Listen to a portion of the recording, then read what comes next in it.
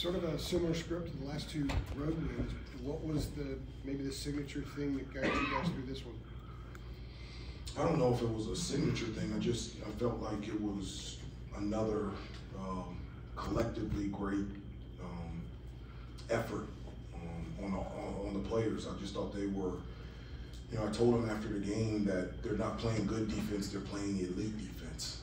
Um, just take, taking the challenge of winning their individual one-on-one matchups, um, staying on script in terms of what we've talked about in preparation for each game boxing out and rebound. This is the fourth straight game that we've out rebounded an opponent. We've identified what allows us to be really good in rebounding and defending. And then in the offensive end, I think um, in the second half, we we played offense at our pace. One of the things is, you know, NC State is so good defensively and they pressure you. Um, one of the things I just kept repeating to them, don't let their pressure, don't let their defense dictate and decide how we play on the offensive end. I felt like in the first half, they sped us up. In the second half, I felt like we were playing at our pace and we were able to shoot better, get to the penalty, and uh, make enough free throws and be able to extend the lead. Hubert, what were you guys able to do to DJ Horne and Burns in the second half to really frustrate them? They were two talented scorers, and they were almost silent in the second half. Well, they're, I mean, they are. They're one of the better players in the country. Um, I don't know how you defend DJ Burns. I mean, he's just so gifted and, and it's just a dilemma every time down the floor. Do you guard him one on one or do you double team? He's such a gifted passer, and so you try to mix things up, not give him a steady diet, so he knows that he's gonna pass out of the double team, or he knows that nobody is coming. And so that's one of the things that we did was just throw different combinations, different things, and I think um, the guards. You know, one of the things that we talked about is you know giving Horne the same type of attention that we had on, on Hinson and Pittsburgh and Gerard on Clemson. He's at that level. And I felt like our guards really did a good job climbing into him and making each one of his shots difficult as well. Hubert, last year you guys won four road games the entire season. The last week you won three, all by double digits. What do you attribute that difference? I don't. Again, guys, I I don't I just don't think about previous years. I just specifically focus on this season. I think one of the things that, and I've said this before, that has helped us has been our non-conference schedule. I just, I just believe the level of teams that we play, the different situations that we we've been in, has hardened us and, and, and give us like a a toughness, but an experience, even being on true road game. I just hear them in the huddle all the time. We've been here before.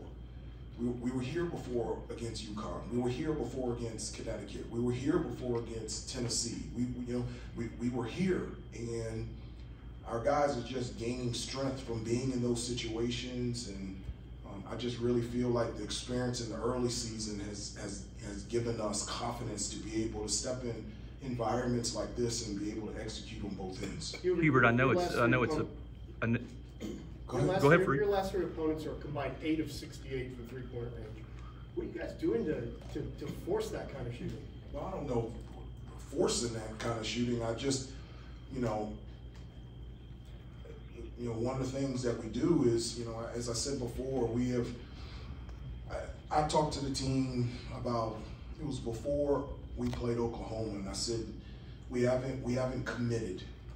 We made a full commitment, and there's no half commitment. There's either a full you're either committed or not. And I said we haven't committed to us being the best defensive team that we can become, or the best rebounding team. And I said, for us to have success, like that commitment has has to come. And from that time from Oklahoma, it really has. And you know, it doesn't guarantee that we'll win or come out on the winning side, but it does guarantee that it keeps us in games. And um, we're contesting shots, um, we're staying with shooters, we're getting through screens, we're making it difficult for shooters to come off, and, and we're rebounding and boxing out and rebounding and keeping them out of the paint. Hubert, I know it's a process with, with young players, but is Elliot? do you think he's starting to figure out when to pick his spots to attack, when not to? Yeah, like, do you good. see that? You see that happening? Yeah, tonight was good. You know, one of the things that um, there's a couple things. One, I, you know, he has an ability to be able to get to the basket and, and be able to create and just you know sit down and talking with him, saying, "Look, this is a gift that you have. You got to go out there and use it." And if I call a play, but you feel like you can make a play, that's exactly what I want. You know, and I felt like he picked his spots perfectly tonight to be able to attack the basket, get to the rim. Um, he was really good in terms of making decisions. Um, he's great coming off ball screens. He's patient. He sees everything, whether it's a shooter in the corner or Armando or Jay Wash rolling to the basket. Um, he has an ability to finish at the, at the rim uh, through contact and get to the free throw line. I just I felt like he played with really good poise. You know the way that they're playing him in practice the last couple days. We worked on it just to get him feeling more comfortable about how to attack and get to the basket, and, and he did that tonight. In the second half, similar to Clemson, you drew a lot more fouls in the second half. What did you do to, to get that? I told him we need to get to the free throw line. I mean, that, that was huge for us. I mean, you know, one of the things that, that is really big for us is um, dominating points in the paint through post penetration, offensive rebound, and we want to live in the paint, live at the free throw line. You know, one of the things that I, I, I gave him a stat before the game that we had made prior to this game 270 free throws, and I think NC State had only taken 261. So that's an advantage for us. Um, at the, at this current time, NC State's such a, a, a great team, but they're last in terms of block shots. So we, we need to attack the basket. And so that's something that we reminded them in the second half that I think we had only gone to the free throw line twice in the first half. And so like for us to have success, that's just not good for us. And I thought we made a, a really uh, conscious effort offensively to make sure that we were attacking the basket and it led to us getting into the penalty and being able to hit some free throws. Take With like two more, please. With Armando sitting in the first half and second half with the fouls, you got a lot of minutes out of both Jalen's. What did you like that they provided? And as far as Jalen Washington goes, is he becoming more comfortable playing the physical stuff down there? He is, you know, honestly, he's our best post defender. I mean, he just does a great job. I mean, he battles Armando every day of practice, so he has, you know, practice in terms of physicality and being able to guard down low on a post. And uh, honestly, that that was one of the biggest parts.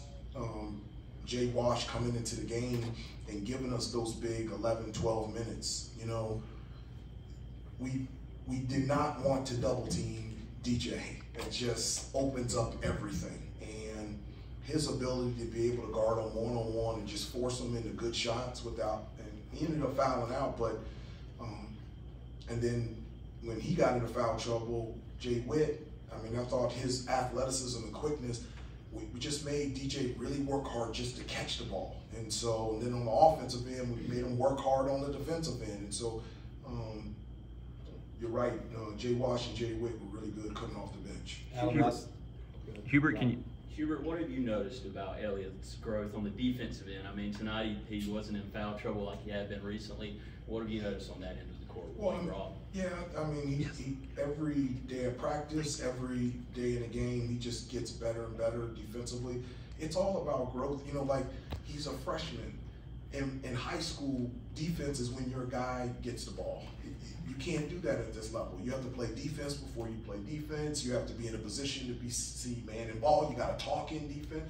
I mean, I remember in high school, I, I talking defense. I didn't know what help side was. I didn't know different ball screen coverages. And I come to Carolina, I'm like, what are you talking about, Coach Smith? You know, and it was an adjustment for me. So um, the thing that I'm happy about is his understanding and his growth of how important defense is.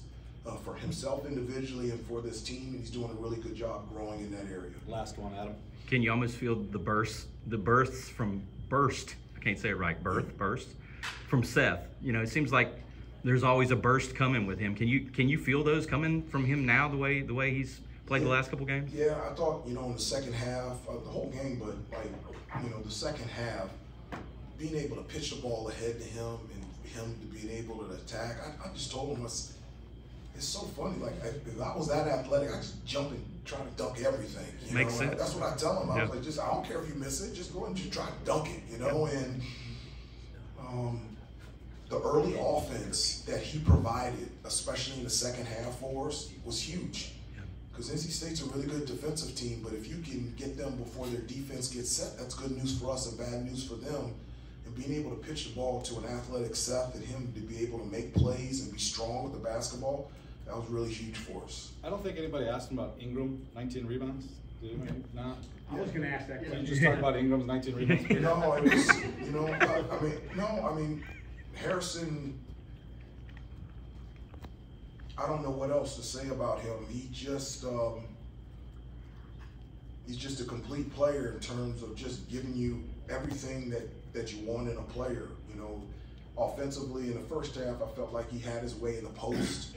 That gave us an option to be able to score when we really didn't have any points in the paint. And then we'll always talk about it. This is not an Armando Bacot rebounding game. It's a UNC basketball rebounding game. For him to get 19 rebounds, that's just off the chart. But if you want to, you can tease him. He could have had a double double, but he missed two free throws and gets everybody a Chick Fil A sandwich. So, um, that include us too, a Chick Fil A sandwich. You go to the store. Are are you gonna Yeah. order the Chick-fil-A? Coach Keats is ready, so we'll leave on that. Thanks, coach. Thank you.